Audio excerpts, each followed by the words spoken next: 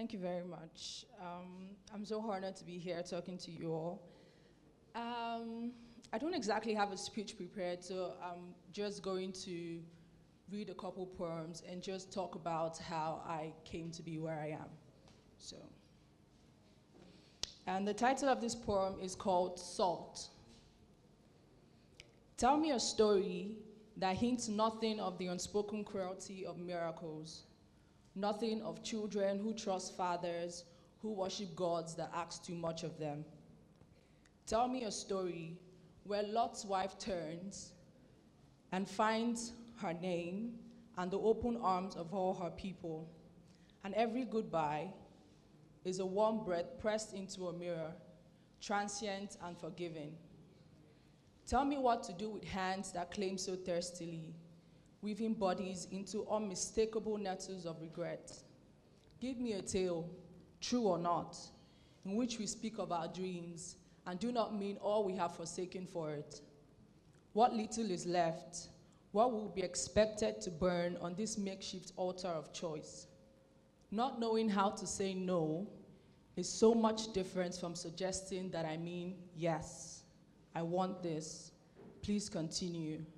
I guess he didn't want to be rejected, so he never bothered asking.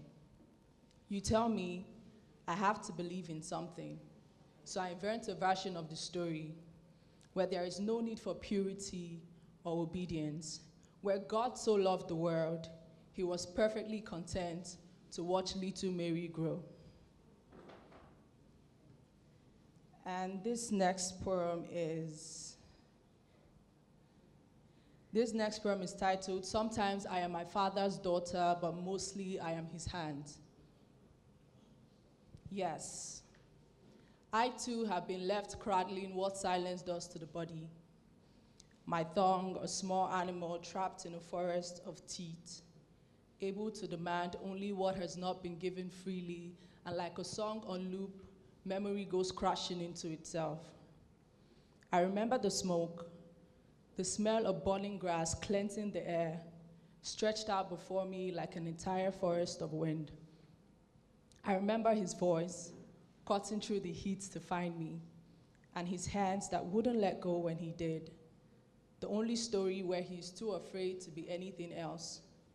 I have been too afraid to be anything else. A group of otters is called a family. No one can say for certain what that means family, not otters. I have come home humble as rain. I have come home wild and vindictive as the sea. I have stolen food from the mouths of lovers when I only meant to feed myself. The truth is, I am without grandparents, and I fear what void must come next. Funny how death forces us to forsake our best pretenses. Say my name, and a shadow appears in the doorway. Say baby, and a dam folds in on itself. Say thanks, say thanks. Say you're sorry, even if you don't want to. In my worst dreams, I am still trapped in childhood's tomb. I wake to the noise of sand being shoveled in. The past, a stray dog that keeps returning with a new bruise. How do I admit I almost love the dog? I mean, the bruise, or maybe the smoke. I have not known love beyond a need to punish someone else for my foolish desires. And isn't it funny how forgiveness does not erase that which it forgives? Can you hear me? I am pretending as though I could bridge this distance and you could understand. There are worse histories than this, I know. I had warm clothes and food no one had to be traded for. The truth is, my father loved to build things. My father loved to break things. I cannot remember the last time I made something with my hands. I keep trying to tell you about the fire. My father came running to find me. Thank you.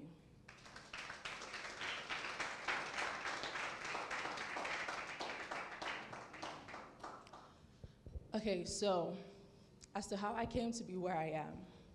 Like all of you, I went through the, or like most of you, I went through the Nigerian educational system, and that means you basically did, a lot of us didn't exactly go to school to study what we thought was our passions.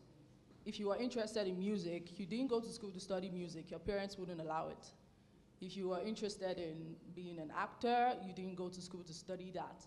It was for a lot of people who ended up in those courses, it was either because they were so resilient they could fight against their parents' wishes or you know, they got thrown there as a substitute for something else that they wanted. I did get to study what I wanted, which was law, but somewhere around 300 level, I figured this isn't what I wanted to do with my life. It's just not me.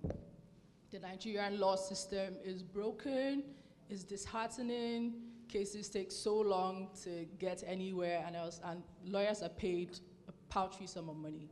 And so I started to write, and that's how I got into copywriting. And I was making, you know, some extra money while in school, and then I graduated, and I realized, you know what? I could actually make a living out of this, and that's what I've been doing for a long, long time. And I'm, I can say that I'm, as a content writer, a content marketer, I, you know, I'm earning. Uh, considerable, considerably above, you know, the average Nigerian person. And um, I can't imagine that I would be able to do the things that I do now or that I'll have the chances to, you know, tell the stories that I'm telling if I had just stayed focused on that law path and just after school, you know, gone to law school, gone to a firm, started serving, but I realized that I could do so much more. I could do something else with my time, something that I actually found rewarding to a degree. And even if you're not necessarily writing to earn money, even if you're not, you know, necessarily writing to earn a living, you can just write because you want to tell stories. And that's actually what I also do in, you know, my personal writing. I don't necessarily make a lot of money from that. It's just a commission here, a commission there, but I still enjoy it. It's the thing that brings me, you know, some of the most comfort, some of the most joy in the world. I write. And lately, the Nigerian and even the African canon of literature has been expanding. It's bigger, or it's maybe not bigger, but it's more popular than ever before. A lot of young people my age are writing. They're proud to say, oh my God, I'm a writer. It's no longer a thing of, you know, please don't say it outside, you're not serious. It's actually something we're proud to say that, oh, I'm a writer, I write poems, I write essays, I write. And they're actually doing really good, and they're actually earning a lot of recognition for like the people on the continent right now.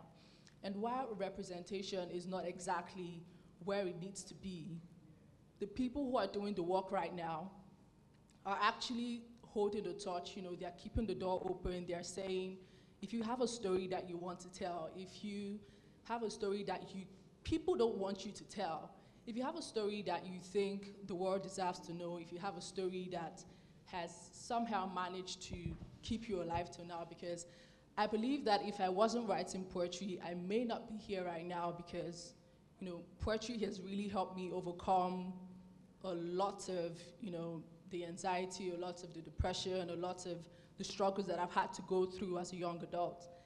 And if you are in that position, if you think that you have a story to tell, you can write for yourself. You can write for other people. It doesn't really matter. What matters is your willingness to throw your voice into the fold, your willingness to put pen to paper, your willingness to tell a story that you think someone else out there, even if it's just one person, even if it's a dozen people, it doesn't matter whether you win awards, it doesn't matter whether you don't win awards.